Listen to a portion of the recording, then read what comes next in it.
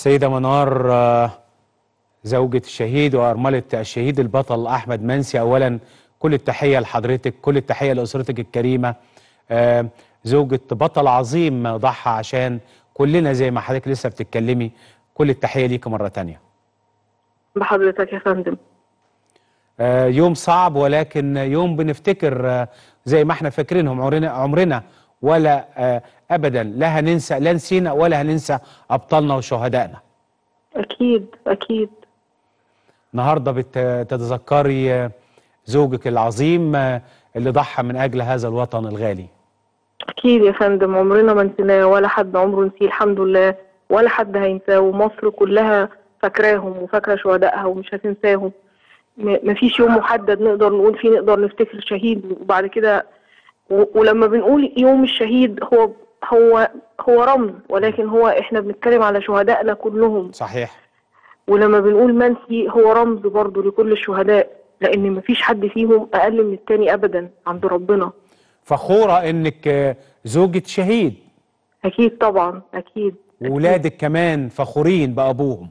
فخورين جدا الحمد لله وعايشين في هذا الفخر طول عمرنا وساب لينا يعني طول عمري أقول ساب لينا تركة كبيرة قوي من الفخر بجد. آه، الحمد لله. الناس كلها يعني معاكوا كأ- كأسر شهداء ويمكن أيضا الشهيد آه، أحمد منسي أيضا من ال- الحاجات اللي كانت مؤثرة أيضا لدى كل المصريين. ما حدش يا فندم بجد من جميع طوائف الشعب المصري سايبنا بجد. وده وده وده بقى اللي بيخليني فعلا ناس كتير قوي بتكلمني في كل وقت بقول لهم أنا بشكركم إحنا عايشين بيكوا باللي عملتوه معانا. يعني من الرئاسة بقى للجيش ل- ل- لجميع يعني مرافق الدولة. مح- مفيش حد سايبنا.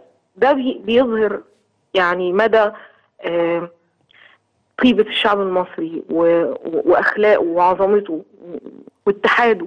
ده بيخليني أحس ويمكن أنا أنا كنت بكلم حد من يومين وقلت له اعذرني في الكلمة بيخليني أحس إن فعلا آه، التضحية اللي شهدائنا عملوها يعني كانت في محلها فعلا إن الشعب المصري يستاهل التضحية اللي الشهداء عملوها عشان مصر في المقام الأول وعشان شعبها. يعني حاسين بالتفاف الناس حواليكوا كل المسؤولين آه. والشعب كمان. آه طبعا آه حاسين طبعا به... بهذه التضحية قد إيه قيمتها قد إيه عند الناس؟ فعلا فعلا. محدش سايبنا ومحدش مقصر معانا الحمد لله. بشكرك شكرا جزيلا. تعالوا نشوف كمان